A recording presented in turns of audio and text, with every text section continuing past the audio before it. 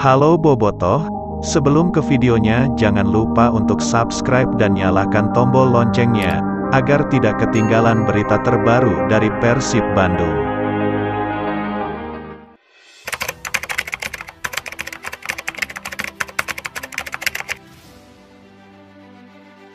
Persib Bandung tambah dua amunisi jelang lawan Bali United, termasuk pemain berlabel Timnas Indonesia. Persib Bandung mendapatkan kabar baik menjelang laga melawan Bali United. Dua pemain akan kembali. Dua pemain yang dimaksud yakni Dedi Kusnandar dan Rahmat Irianto. Kepastian ini diungkapkan langsung oleh pelatih Persib Bandung Bojan Hodak. Sebagai informasi, Persib Bandung bakal menghadapi Bali United pada tanggal 18 Desember 2023. Ini merupakan laga pekan ke-23 Liga 1 musim 2023-2024 yang terlaksana di Stadion Kapten Iwayan Dipta Gianyar Bali.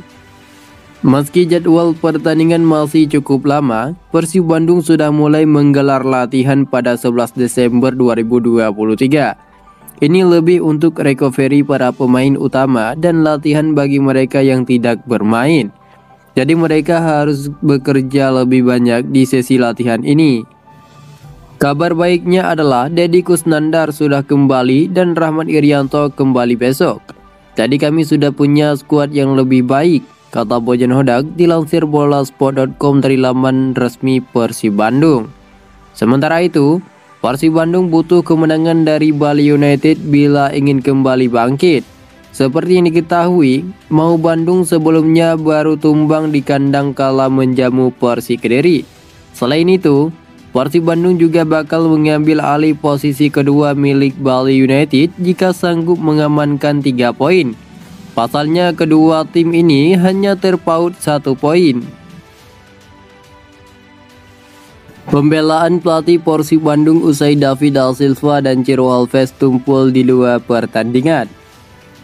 Pelatih Persib Bandung, Bojan Hodak memberikan pembelaan kepada kedua penyerangnya yakni David Da Silva dan Ciro Alves yang mandul di dua laga melawan Persik Kediri dan PSM Makassar. Persib Bandung memang dipaksa menelan kekalahan 0-2 dalam laga pekan ke-22 Liga 1 yang berlangsung di Stadion Gelora Bandung Lautan Api pada Minggu 10 Desember 2023. Kekalahan ini memang menjadi hasil yang sangat tidak memuaskan buat Persib Bandung. Sebab hasil ini membuat Mau Bandung harus menelan kekalahan pertama setelah 14 laga tak terkalahkan.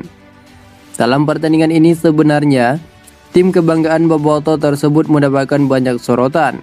Karena laga ini dipimpin oleh wasit asal Jepang Futoshi Nakamura. Akan tetapi, tak hanya itu yang menjadi sorotan karena dalam laga ini Persib Bandung pun menelan kekalahan dari Persik Kediri.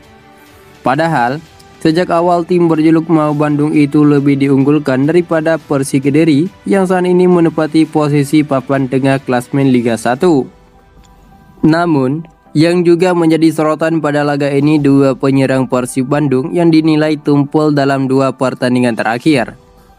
David Silva dan Jiro Alves dinilai tumpul dalam dua pertandingan saat Persib Bandung menghadapi PSM Makassar dan Persik Kediri.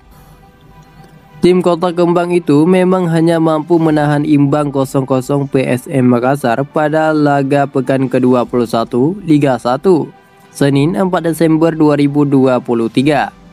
Tak hanya bentuk pada laga tersebut, lagi-lagi dalam pertandingan melawan Persi Kediri, Ciro Alves dan David da Silva tak mampu mencetak gol. Duo Brazil itu dinilai tumpul karena tak juga mampu mencetak gol untuk tim kebanggaan Boboto tersebut.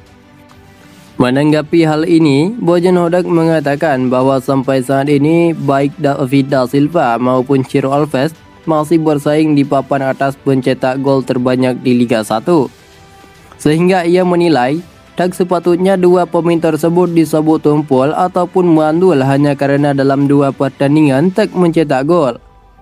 Menurut saya, David da Silva saat ini masih menjadi pemain yang menepati posisi top skor teratas Liga 1, ujar Bojan Hodak kepada awak media seusai pertandingan Minggu 10 Desember 2023. Kemudian Ciro Alves juga sama, dia masih berada di posisi kelima atau enam pencetak gol terbanyak ucapnya. Mereka berusaha menampilkan permainan yang terbaik seperti biasanya. Melihat daftar top skor Liga 1 memang bisa dipastikan bahwa David da Silva saat ini tengah bersaing dengan Gustavo Almeida di posisi pertama pencetak gol terbanyak dengan mengemas 14 gol.